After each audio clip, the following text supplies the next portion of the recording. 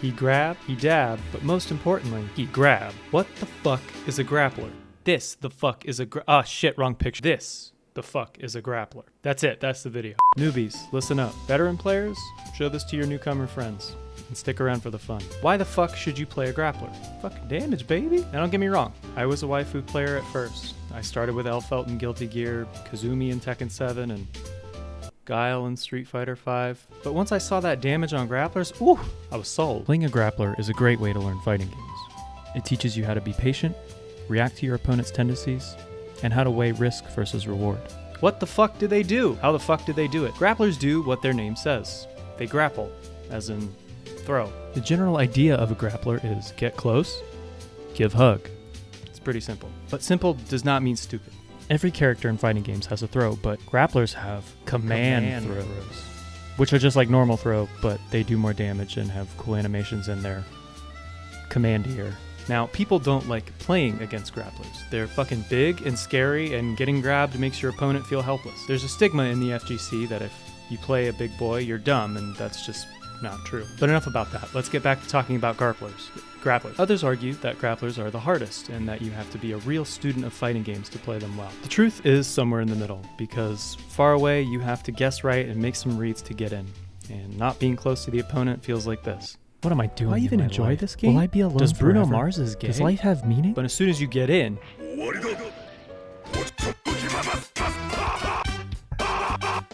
it's game time. What game? The guessing game. Time for the guessing game, baby. Which door is it gonna be? Attack, throw, command throw? Uh, uh, throw? Oh, that's unfortunate. They're all command throw. They're always command throw. Now to the how. You have to be patient to play grappler. Their big bodies make it easier to get hit, and their low mobility makes getting from here to here feel like the fucking beach scene from Saving Private Ryan. And if you're impatient, the only thing you'll be grappling with is depression. Grapplers are gambly, and inherently so. They get more health because they're prone to getting hit, since they have to take more risks to run their game plan.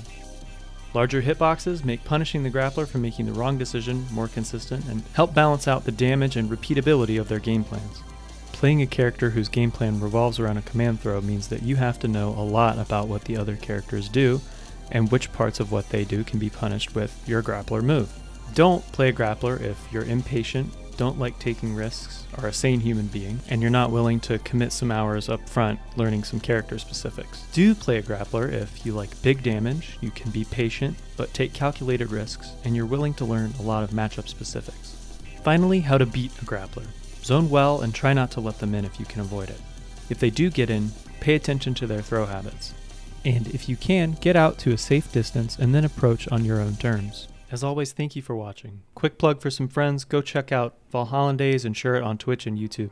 Valhollandaise does beginner teaching every Friday, and Shirt is all around an awesome guy. I'm around their lobbies a lot too, so come hang out. And thank you all for the support this year. I really mean it from the bottom of my heart. There's a lot more to come in 2021. I have plans to stream way more and maybe get some tournaments going if we can. And of course, I'll still be releasing new videos. Thank you all, and have a fantastic new year.